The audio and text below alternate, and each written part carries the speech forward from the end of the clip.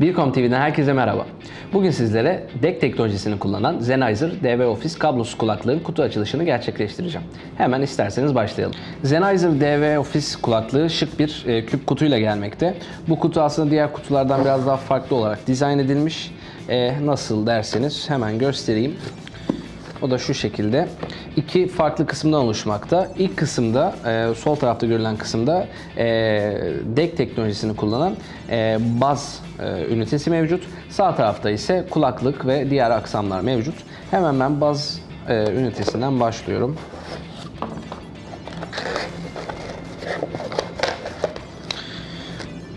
Bu da yine küp şeklinde olan baz ünitesi bu şekilde geliyor. Yine aynı kısımdan e, DV Office eğer PC ile kullanmak istiyorsak USB kablomuz geliyor. Bununla beraber eğer ben DV Office'i e, masa üstünde bir telefonla, masaüstü telefonuyla kullanacaksam da e, enerjiyi e, harici olarak alması gerekiyor. Bunun için de adaptörümüz mevcut. E, sol tarafta bahsettiğim gibi kulaklık mevcut. Kulaklık bu şekilde e, kanca ile beraber geliyor.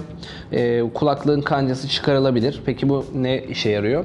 Ben istersem kanca ile kullanabilirim ama istersem de yine kutunun içerisinde bulunan bu touch kısmını da kulaklığa takabilirim. Böylece istersem taçlı aynen bu şekilde istersem de e, kancalı bir şekilde Sennheiser e, DV Office'i kullanabilirim. Hatta bunu da şöyle takarsam. Son olarak içerisinden bir de e, bir e, manuel çıkmakta. E, hangi kabloların e, nasıl bağlanacağı, telefona ya da PC'ye nasıl bağlanacağını gösteren bir manuel. Bu manuelin aslında tamamını da e, bir CD içerisinde e, bulabiliriz. E, o da kutunun içerisinden çıkmakta.